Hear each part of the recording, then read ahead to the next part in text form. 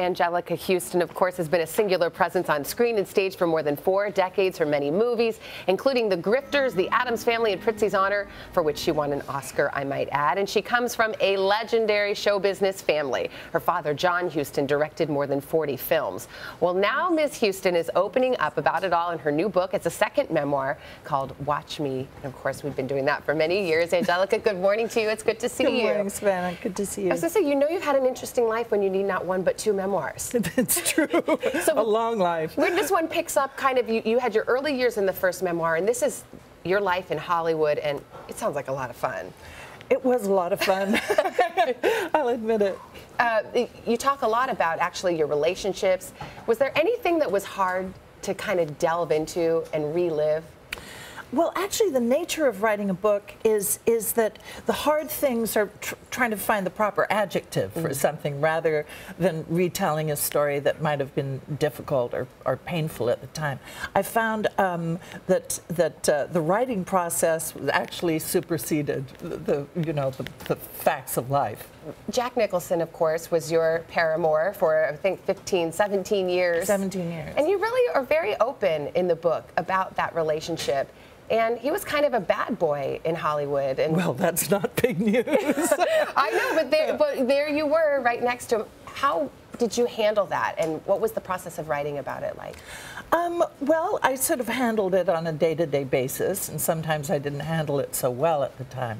Um, the, the, writing about it actually was quite cathartic, and um, and I showed him the book before it went to publication, so I, I got his stamp of approval. Not that I needed it, but but it was nice to have. You write that looking back on it now, you think there were moments where I don't know if denial is the word you'd use, but there were times where you felt like Denial is not a river in Egypt. Yes, where, where maybe you should have known what he was up to. I knew what he was up to, but you know, the, the, the, the, the thing about being with somebody who's that much in the public eye and who is that charming and is that charismatic is that you kind of have to go along with the program.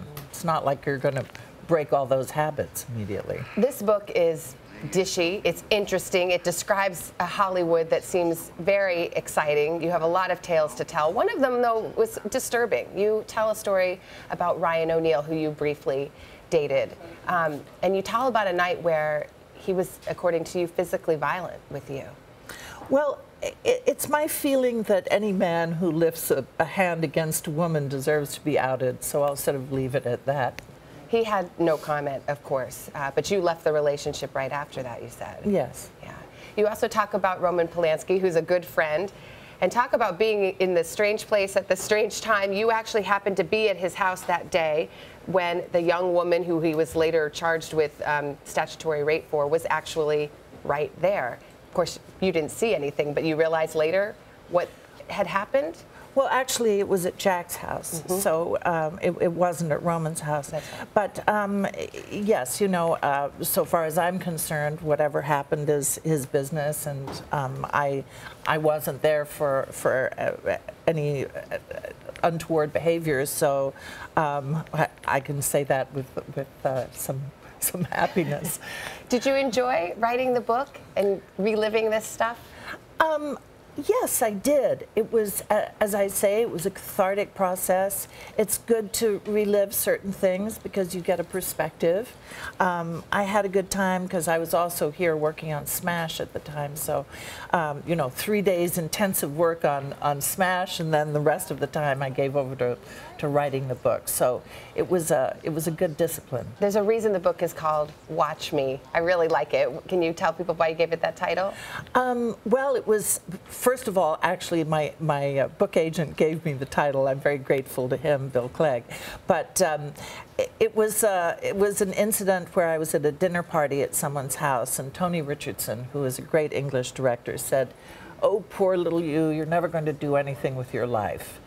You know, so much talent, so little to show for it. And I thought, hmm, watch me. So that's that's how it came about. And so we have, and now we can read all about it. Anjelica Huston, thank you so much. It's such a pleasure as always. Thank you. Appreciate it.